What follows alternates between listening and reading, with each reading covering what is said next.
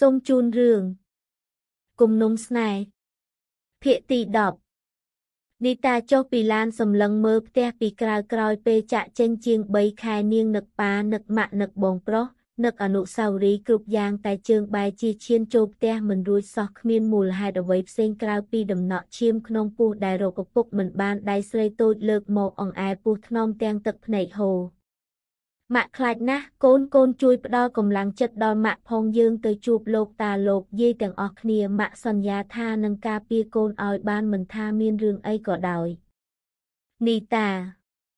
នាងងាកទៅតាមសំឡេងហៅឃើញម៉ាក់នាងឈោមុខផ្ទះកំពុងសម្លឹងនាងមិនដាក់ភ្នែកគាត់សើចផងយំផងមកអោបនាងណែនដៃ ទីបំផុតកូនមកផ្ទះវិញហើយកូនដឹងអត់ម៉ាក់ប៉ាបារម្ភពីកូនប៉ុណ្ណាដេកមិនលក់ញ៉ាំមិនម៉ាក់សំពះព្រះបនស្រន់រាល់យប់ឲ្យកូនម៉ាក់បានជួបតែបានគិតគ្រប់ដង្ហើមចេញចូលក្តីសុខនិងឆាប់វិលមកគ្រួសារយើងវិញនីតាលុតជង្គង់មុខម្ដាយនាងសំពះគាត់ដល់បាត់ជើង កូនសុំទោសកូនអត់តញោកូនអត់អីទេបានកូនមកវិញម៉ាក់មិនត្រូវការអ្វីទៀតទេកុំភ័យអីលោកប៉ាមិនខឹងកូនទេ ម្ដាយនាងលើកកូនស្រីបណ្ដូចិត្តឲ្យងើបឡើងតែនីតាមិនព្រមនឹងក្រវីក្បាលមានអីទៀតឬកូនមិនមិនងើបមកយើងចូលផ្ទះទាំងអស់គ្នាម៉ាក់បើខ្ញុំចង់សុំម៉ាក់យកមនុស្សម្នាក់ទៀតចូលផ្ទះផងបានអត់អ្នកណាគេទៅមិនម៉ាក់មិនឃើញគេ ម្ដាយនាងធ្វើមុខឆ្ងល់ព្រោះក្រឡេកឆ្វេងស្ដាំគ្មានអ្វីសោះគេនៅនៅនៅនាងតបទាំងរដាក់រដប់និយាយមកកូន គេនៅត្រង់នេះនីតាលើកដៃចង្អុលពោះនាងព្រមគ្នានឹងសម្លឹងមុខម្ដាយស្រីចំណាស់ខ្ទប់មាត់កូនចង់ប្រាប់ថា ចាស់ស្មាក់ខ្ញុំមានផ្ទៃពោះហើយ តែបើម៉ាក់ខ្លាចខ្មាស់គេខ្ញុំមិនអត់ទេមិនអីទេកូនចូលផ្ទះសិនទៅចាំនិយាយគ្នាទៀតណា ម្ដាយនាងរហ័សបដិសេធខ្លាចកូនស្រីគិតផ្ដេសផ្ដាសដោយដែលគាត់ធ្លាប់មើលក្នុងកាសែត គុំគិតច្រើនកូនរឿងអ្វីសុទ្ធតែមានផ្លូវដោះស្រាយជានិច្ចម៉ាក់មិនខឹងកូនទេ ហើយចុះពោះពងប៉ុន្មានខែហើយគាត់បណ្ដានាងចូលក្នុងផ្ទះអង្គុយលើសាឡុងចាស់ជាង2ខែហើយម៉ាក់ចុះកូនញ៉ាំអីហើយនៅ នៅទៅម៉ាក់បើចឹងទៅញោមអីសិនទៅចៅម៉ាក់ប្រហែលឃ្លានហើយតោះ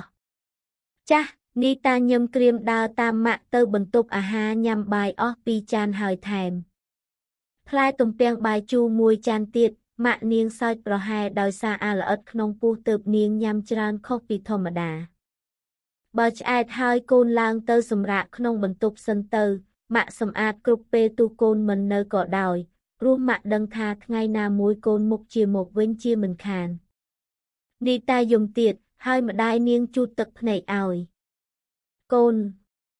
គុំចឹងអីប្រយ័ត្នកូនក្នុងផ្ទៃសោកសៅដែលទៅទៅសម្រាកទៅកូនគុំបារម្ភពេកណា ចាស់នីតាចូលទៅឡើងលើគ្រែដែលនាងបែក3ខែទឹកភ្នែកនៅតែបន្តហូរនឹកដល់ប្រុសដែលមានឈ្មោះថាជាប៉ារបស់កូន លោកប្រហែលជាសប្បាយចិត្តហើយដែលខ្ញុំចាក់ចេញបៀបនេះតើលោកកំពុងធ្វើអីមាននឹកមនុស្សស្រីដែលលោកធ្វើបាបឬអត់នីតាឯងគិតឈួតស្អីគេមានរឿងអីមកនឹកឯងនោះ នាងដាស់តឿនខ្លួនឯងតែវាមិនបានផសោះចិត្តនៅតែនឹកដដែលនឹកគេដល់ដេកលក់ឯអ្នកស្រីឌីគាត់ចុះមកអង្គុយក្នុងបន្ទប់ទូភ្ញៀវគិតរឿងកូនស្រីគាត់តាមពិតគាត់ចង់ដឹងថានាងមានផ្ទៃពោះនឹងអ្នកណាប្រុសម្នាក់នោះហេតុអីមិនមកជាមួយនាងតែខ្លាចថាសំណួរគាត់នឹងកាន់តែធ្វើបាបចិត្តកូនស្រីថែមទៀតសភាពនាងព្រឹកមិញដែលឈរវើរវាយមុខផ្ទះបណ្ដាយំបណ្ដាក៏បានបញ្ជាក់ច្បាស់ថាប្រុសម្នាក់នោះបោះបង់នាងហើយ ចាំប៉ាវាមកចាំសួរក៏បានតែលើខលប្រាប់គាត់សិនអ្នកស្រីឌីលើកទូរស័ព្ទខលទៅរកលោកសានអាឡូបងបាទមានកាអីឬអូន លោកសានសួរដោយសំឡេងស្រទន់ទូគាត់ចាស់អស់ហើយ តែនៅតែផ្អែមល្ហែមនឹងគ្នាមិនដែលបដូរកូនស្រីយើងមកដល់ផ្ទះថ្ងៃមិញនេះបងលោកសានស្ទុះងើបពីកៅអីសួរឲ្យប្រកាសថាគាត់ស្ដាប់មិនច្រឡំអូនថាម៉េច កូននីតាមកផ្ទះវិញហើយតែអីអ្នកស្រីឌីរៀបរាប់រឿងគ្រប់យ៉ាងប្រាប់លោកសានប៉ុន្តែសូមអង្វរគាត់កុំឲ្យដាក់សម្ពាធនាងអីព្រោះខ្លាចថាកូនស្រីគិតខ្លីណាមួយប៉ះពាល់ដល់ទីរੂនៅក្នុងផ្ទះមិនអីទេចាំល្ងាចនេះបងទៅវិញសុំដោះស្រាយអូនកុំព្រួយបងក៏ស្រឡាញ់កូនយើងដែលបងមិនធ្វើបាបចិត្តគេទេ ចាស់បងចឹងបានហើយណា អ្នកស្រីឌីបិទទូរស័ព្ទក្នុងចិត្តគាត់គិតថាអ្វីនឹងល្អប្រសើរទោះបីជាត្រូវអ្នកស្រុកនិយាយដើមយ៉ាងណាក៏គាត់មិនខ្វល់ដែលសំខាន់សុំឲ្យតែគ្រួសារគាត់ត្រឡប់មកជួបជុំដូចដើមទៅបានហើយម៉ាក់ស្រឡាញ់គ្រួសារនេះស្រឡាញ់កូនគ្រប់គ្នាគាត់ញើមមុនទៅផ្ទះបាយធ្វើអាហារសម្រាប់ល្ងាចនេះលោកសាននឹងឋានមកដល់ផ្ទះវិញពេលល្ងាច ចុះពីឡានមិនទាន់នាំគ្នារត់ចូលផ្ទះភ្លាមឋានអោបប្អូនស្រីតែម្នាក់គត់ក្នុងដៃដោយក្តីត្រេកអរនីតាប្អូនសម្លាញ់បងមកវិញហើយបងសប្បាយចិត្តណាស់មើលបងអោបណែនម្លេះខ្ញុំដងហើមមិនរួចទេនីតាធ្វើមុខស្អុយរុញឋានចេញបងសុំទោសមកពីបងនឹកឯងពេកខ្ញុំក៏នឹកអ្នកគ្រប់គ្នាដែលជាពិសេស នាងងាកទៅមើលបរោះដែលមានឈ្មោះជាប៉ាទឹកភ្នែកក៏ហូរមកនីតាលុតជង្គង់វាទៅសំពះបាតជើងគាត់ទាំងពីរនាក់ដែលអង្គុយលើសាឡុងក្នុងបន្ទប់ទទួលភ្ញៀវកូនសុំខមៀទោសលោកប៉ាផងដែលធ្វើឲ្យគ្រួសារមួយនេះអាម៉ាស់មុខដោយសារតែកូនកូនមិនល្អកូនហឹកហឹកលោកសានក្រវីក្បាលមិនអីទេកូនសម្រាប់ប៉ាម្នាក់នេះអត់ទោសឲ្យកូនបានគ្រប់យ៉ាងព្រោះកូនជាកូនរបស់ប៉ា នីតានៅតែក្រាបក្រោមបាតជើងមនុស្សពីរនាក់ដែលមានគុណធ្ងន់ជាងប្រត់ពីសម្រាប់នាងអ្នកស្រីឌីចាប់ផ្ដើមសូនៅសំណួរដែលជាចងល់គាត់តាំងពីថ្ងៃ